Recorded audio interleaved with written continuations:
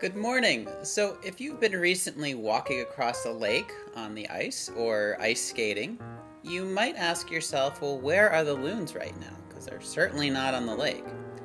And uh, what's really interesting about these birds is that although they're really territorial on the lakes when they live there, they get up in groups and they fly to the ocean for the winter. And if you happen to be uh, walking along the coast of Maine right now or uh, anywhere along the east coast down the Chesapeake, you might see some loons that are in the ocean during the winter. And that's where they uh, spend their winters. And in fact, the young birds, the ones that are one to three years old, will actually spend part of their summers in the oceans as well. As soon as the lakes start opening up during the spring, you'll start to see the loons coming back.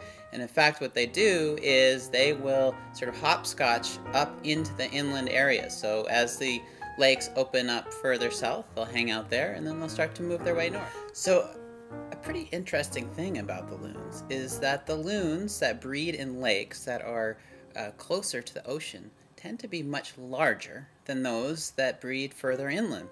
And the reason for this is loons are highly territorial during the breeding season, and the bigger birds are the stronger ones, and they are able to defend their territories.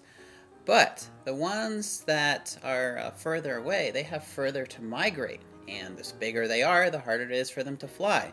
So they need to be smaller. So from a uh, evolutionary biology standpoint, and something that I think is a lot of a lot of fun, is that there are two th conflicting things working on these birds. They want to be bigger so they can defend their territories, but they also need to be smaller if they're further away from the oceans to be able to fly.